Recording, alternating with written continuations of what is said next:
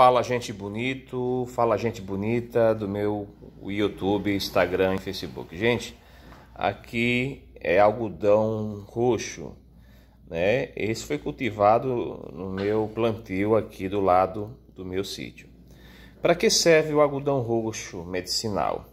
O algodão roxo ele, é, ele serve para vários tipos de doenças, principalmente doenças de menstruação. A folha dela você pode estar tá tirando, você que vai com a primeira menstruação, você que tem muita menstruação, menstrua muito, né?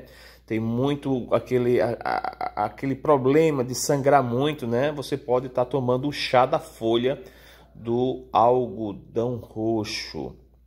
Porque tem muitas mulheres que sofrem com muita dor, dores né, de cólicas abdominais por conta de algumas substâncias, enfim, até por conta do seu próprio corpo. Então, o algodão, a folha do algodão em si, a folha, não isso aqui, é bom para que você possa fazer o chá e com aquela bela bolinha verde você pode estar tá curando a menstruação. Em três dias a menstruação vai embora.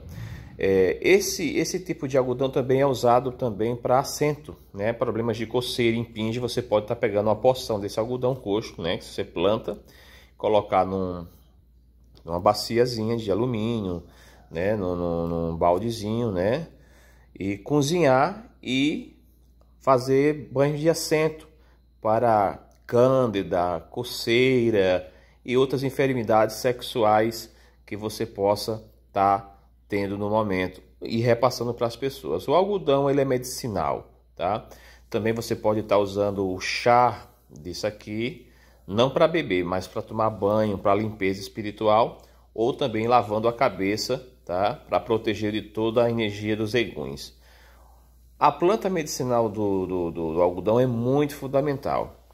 A folha, você pode estar tá raspando a, o pau da folha, ele tem uma, uma a, né, aquela varinha que vai nascer, né? A, as galinhas, você pode estar tá raspando e colocando em pinge. Então, isso aqui é uma erva medicinal, faça, gente é muito bom, tá?